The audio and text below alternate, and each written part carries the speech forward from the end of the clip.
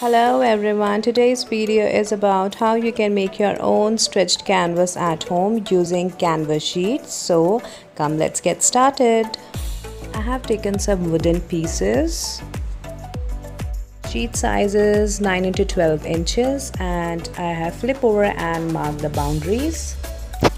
Now according to these measurements I have cut my wooden pieces. Make sure the measurements you take is fully correct now measure this leftover I have taken 3 centimeter long nails. Make sure that when you hammer the nails, the nail should come across the second wood as you can see I am placing these.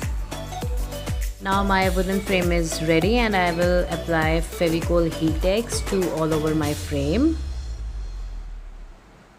Now I have flipped over my frame and kept it on canvas sheet. Now stretch and fix your sheet properly.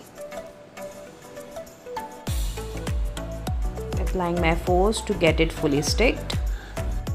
Now ta-da! Your stretch canvas is fully ready. Let it dry for 2 or 3 hours before using it. Now I am applying white Fevicryl color to all over my canvas. If you like the video, do hit the bell icon and if you are new, don't forget to subscribe my channel and for these videos that is showing on the screen, the link is given in the description box below. Till then, bye. Stay safe.